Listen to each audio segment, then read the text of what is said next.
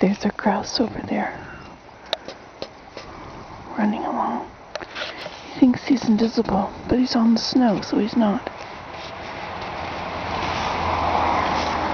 Behind that big tree. Let's see if I can go see him without making any noise. But he saw me already.